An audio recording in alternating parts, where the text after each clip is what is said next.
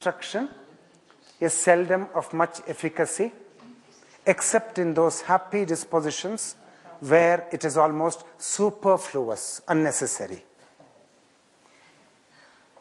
So already you must have completed 99% of the work, and you come here just to cover 1%, and then a resonance happens. That you know that you are actually speaking through me. That is not me speaking. Because this is your truth. Because you've got the, because uh, you got to do so much of work by yourself. Then only you're getting it. No passive believing, no gullibility. Giving your life for it. And and how do you begin? You begin with the boiling crisis. So that's why all the people in a boiling crisis, they are my bosom friends. Because for them, a door is opening if they want it. And uh, if they don't want it, then maybe they get some kind of a compromise solution and uh, then they resettle in artha and kama, partly damaged by hurts. And then you keep going as a traveler. So, shall we now move on this journey, knowing that it's a very serious journey? Shall we move on forward? I have a question, Please. and I think that maybe half of us has it. Great. Didn't understand the statement you said. Yeah, I say it again. How did it start? The power of instruction. Uh-huh. You, you repeated three times. Yeah. I repeat again. I repeat again. So now, what is the content of this statement? The content of this statement is about when does actually learning occur? Under what circumstances does learning actually occur? And what should be the preparation on the part of the disciple or the one who is seeking so that there may be fulfillment and perfection in the learning. That's the content of that statement. Following the thing? So, under what conditions will there be fulfillment and perfection in the learning? And the student or the disciple just gets it completely, what a teacher is teaching. So, the power of instruction, instruction means teaching, the power of instruction is seldom of much efficacy. That means it is rarely of much power, except in those happy situations where the teaching itself is unnecessary. Got it? So that means you've done all the work. Just an atom or two are missing in the complete picture. Just 1% is missing in the total picture. And when your teacher is teaching you that, then because already you've covered 99%, just get it. So that's the kind of preparation or the hard work you've got to do. And that's a seeker. So, in a sense, we may even say that the seeker actually does not need the teacher because he has covered most of the ground himself. He's struggling and struggling and struggling, and somewhere it's going to click for him, and he passes the exam. And the seeking has to begin at a certain point in the spiritual life, and the seeking has to get burnt out. It's got to come to a complete halt, that seeking. And then only you're finding. Because all seeking is an outward movement, going outward. And by going outward, you enter into the world of the senses, you enter into the world of thought and feeling. But Shiva is behind the whole thing, so how do you get to him by seeking? So initially, uh, you will run to hundreds of ashrams, hundreds of temples, hundreds of churches, hundreds of books, hundreds of satsangs, you'll run everywhere. And then finally, you got to come back home. This is the ultimate home. So in Christianity, it is said that the kingdom of God is within you, and that has to become a personal truth for you. Otherwise, that religion has failed in the field of your life. This has to become your personal truth to such an extent that you will start talking this to others. That the kingdom of God is within you. That's the teaching I'm giving, but I'm teaching it now through a Hindu metaphor and through a Hindu Shastra called the Gita. But I'm essentially teaching the common denominator in all religions. There's a common denominator. the core and the essence of every religion, and that's what we're dealing with. And you may have the supposition that I don't know Sanskrit, and I want to tell you it's unnecessary to know Sanskrit. Please understand this. Some people may have a passion for languages, so they can study Sanskrit if they want, but it's not necessary. Even I do not know Sanskrit well. I've been struggling with Sanskrit from the year 1993. I've not got Siddhi in Sanskrit like, like I got Siddhi in astrology. I'm struggling still. It's uh, like Sanskrit is like my beloved. I'm asking her to marry me. She's refusing. I'm running behind her. She's not running behind me. So, all people may not be able to get mastery in a new language. So, that's not necessary at all. Get to the content of what is in the Gita. And there are, the Gita has been translated into 50 languages. And there are uh, more than 100 commentaries on the Gita, including by many Western scholars who studied the Gita in great depth. So you can take any scripture, go very deeply into it. I'm saying Christianity has the truth, Hinduism has the truth, and you've got to take a scripture to which you naturally feel attracted. You're completely at home in that scripture. Start working. Start working. But now I'm saying start working. But Artha and Kama may be so strong that uh, your involvement in this whole spiritual quest may be impeded by the pull of Maya. So that's why the ancients, they said, okay, if you want, you can struggle, but the real thing is happening after 60. You're thinking it's going to happen now, but the real thing is, uh, has much more, the whole season of life is more fertile for it to happen at that time. Because the, the, the pull of the senses, they've had their say in your life. You've enslaved yourself. We have all enslaved ourselves. They had their say, and it's over by 60. So we're going on that uh, path. So, uh, uh, Maggie ji, is that uh, clear? yes, yeah, yeah, yeah. Which means, so what does it mean? It means you got to do a lot of work yourself, as a student and as a learner. Got to work very hard. And uh, uh, it's not that you can be perfectly lazy and uh, somebody is going to distribute some free things. And then you go there and you say, Oh, you're giving it to me. I'm so happy I'm going to get it. No, you're not getting it. Sorry. That's just a beginning. You've got to work with it. You've got to work with it. And when in the oneness they say, All is grace, that is absolutely the truth.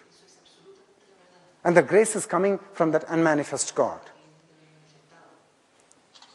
and got to understand the whole thing, think about it deeply by yourself. Just as you're thinking in your professional life, thinking in your married life, the same kind of deep involvement must be there even here.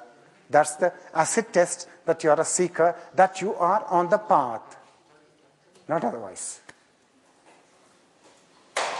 So, shall we move on now, or any more questions? We're all ready? We are fresh like morning roses? Yes. Okay, good.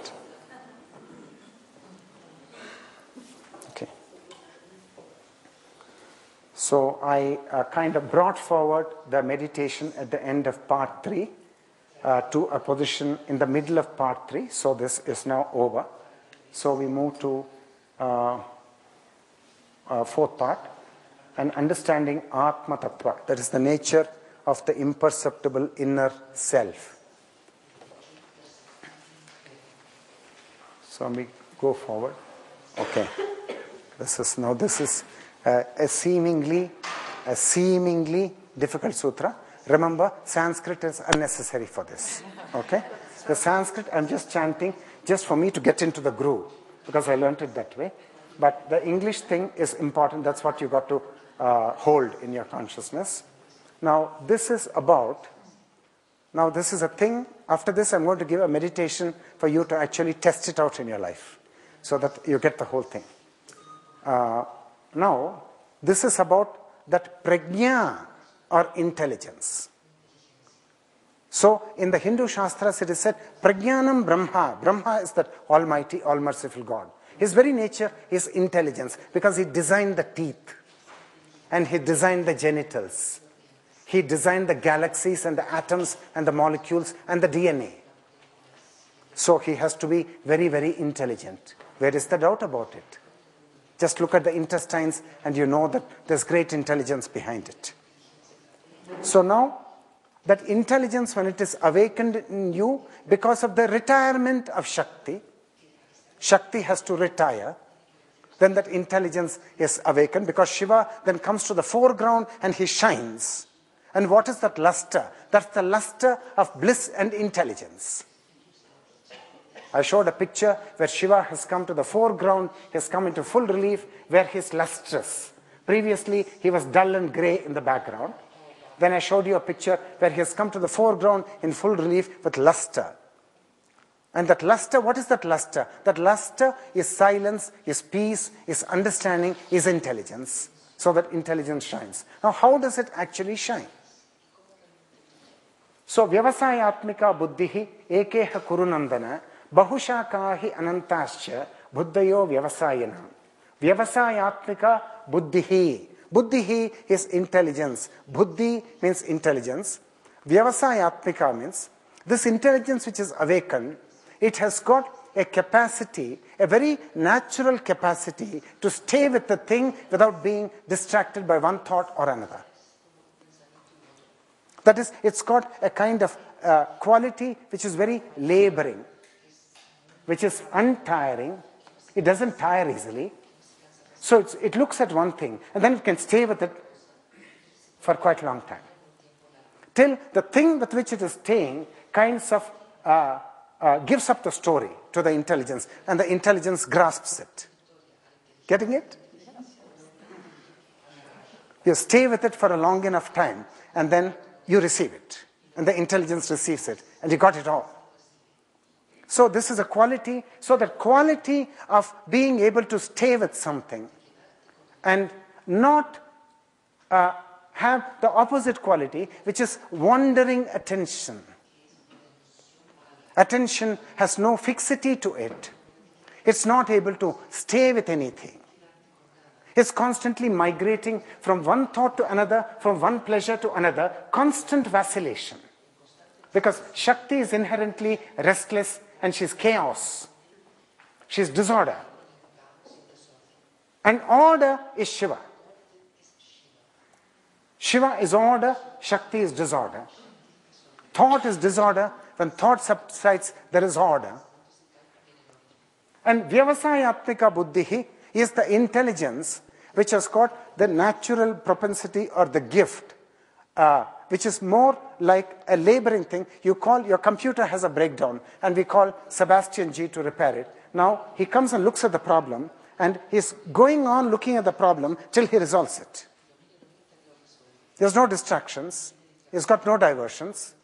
He's just paying attention. It's a very natural state. You're paying very careful attention. No thought is interfering. Till the whole thing, you make a diagnosis and then you resolve it. A state of undistracted attention, which is the opposite of wandering attention.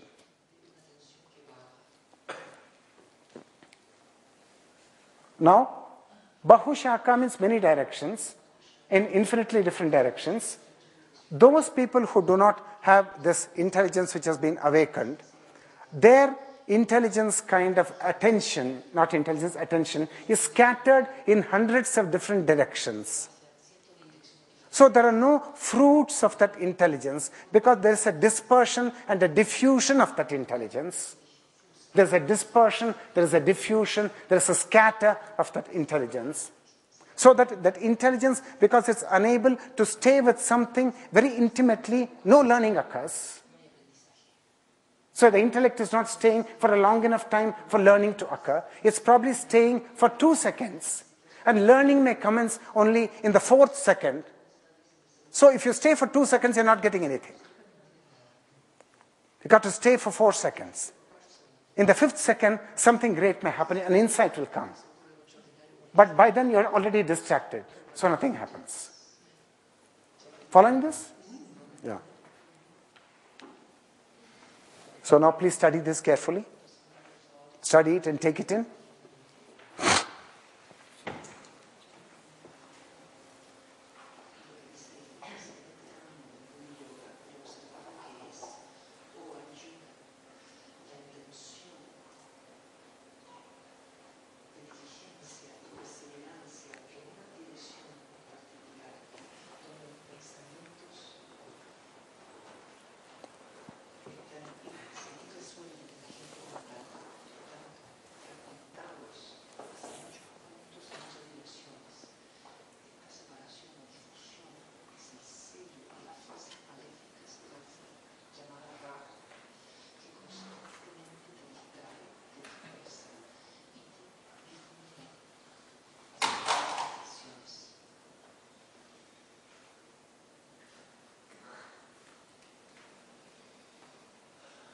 Got it in? Great. So, shall we move on now? Everybody got this? Great. You got to follow this picture closely now. Now, this is wandering attention. Wandering attention. Never able to come to grips with any situation like this. This is what is.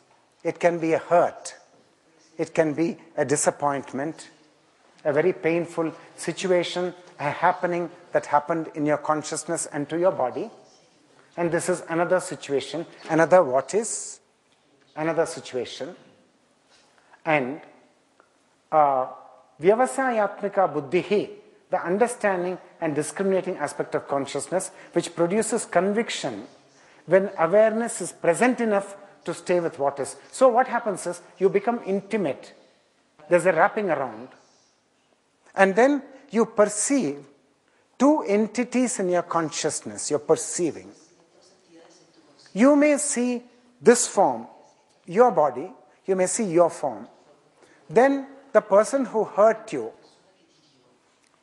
the other, you may see that. For example, the red one is yourself. You see your form in that thought. That what is, is that hurt, a very painful moment, and then you perceive the other. Now, the perceiving source is Shiva. Because of Maya, the Maya, Shiva commits the fatal mistake because Shiva and Shakti are inseparable. Shakti veils Shiva to such an extent that Shiva, who is of the very nature of intelligence, of infinite intelligence, designer of the teeth and intestines, so that intelligence commits a fatal mistake. And then he identifies the red form as himself and the black form as the adversary in your life. You see two forms, body forms you see, and that Shiva commits the fatal mistake. Now, the Hindu sages, they, they kept on studying the Shiva and the Shakti very deeply, very profoundly, because they were materialistically, they were not big achievers. Uh, so they dedicated their life for the study. And then they realized, then they realized that the primordial reality called Brahman, or God, or ultimate reality, or Shiva, that is actually two-faced, Janus-faced. So one face is actually Shiva, who is Sachitananda Parabrahma. In the Moola Mantra it's coming. Sachitananda Parabrahma is the pristine, pure state of Shiva. Sat is existence. Chit is awareness. Ananda is beatitude or bliss. And Parabrahma is unmanifest, is completely beyond anything that the mind and the senses can know. And because he's veiled by Shakti, an intellectual error happens and he identifies himself, he forgets that he is the timeless observer. And then he identifies this body with himself. And then he identifies that black body with the, that of the adversary. So the duality between the self and the other is born. This is too much. I'm always troubling you.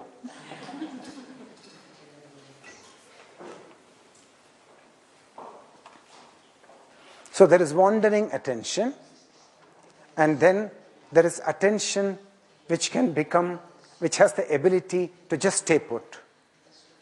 It's very, very watchful. It has no distraction, it's got no, vacil- no vacillation of any kind.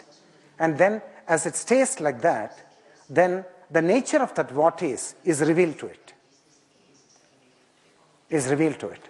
But in the absence of staying with it, uh, without any motive, just staying with what is, not wishing to change it, not wishing to tamper it, not wishing to improve it, just staying with that. Then what is gives up its story and the truth is revealed to you. The truth which is very different from the self deception which you held to be the truth formerly. You had an impression that something is the truth, and later you discover that that is self deception. And the real truth is revealed by becoming intimate with what is.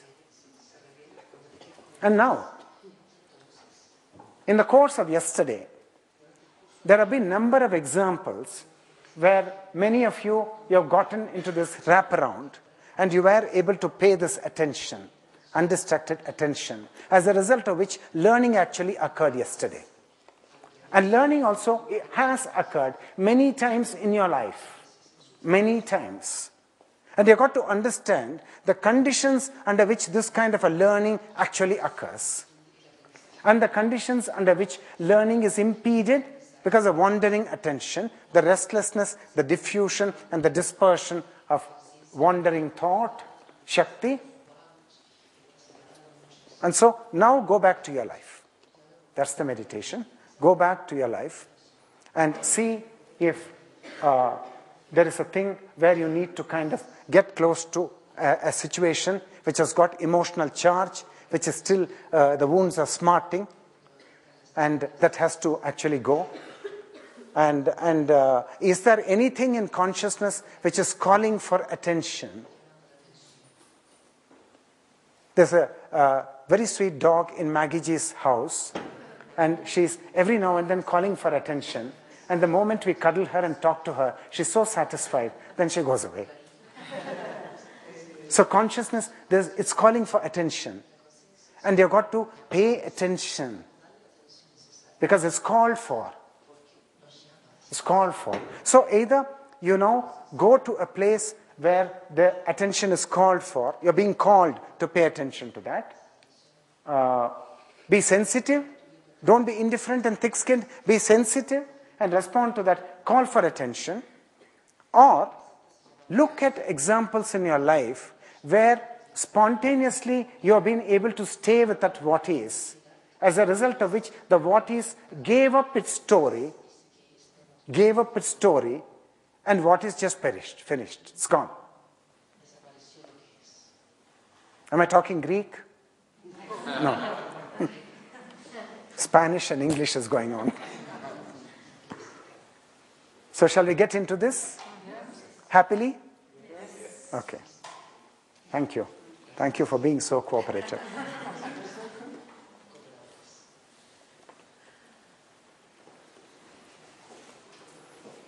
The chant will be going on in the background. The chant is just a kind of reminder to us that the ultimate life purpose is to go back home. And pleasure and pain are there in life. We've got to pay attention to both, savor the pleasure, get intoxicated by the pleasure, and drink the pain as well. But then this is not the summum bonum of life. The summum bonum of life is to find the father and the mother, the eternal father, the eternal mother, and the chants are place a repetitive emphasis on that home, on our eternal Father and eternal Mother.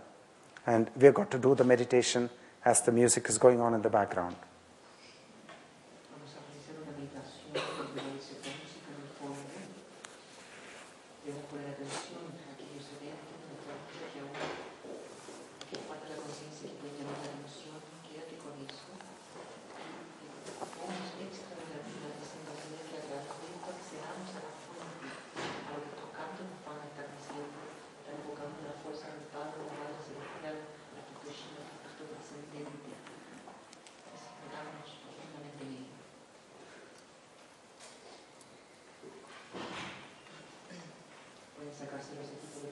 izquierda para descansar los oídos.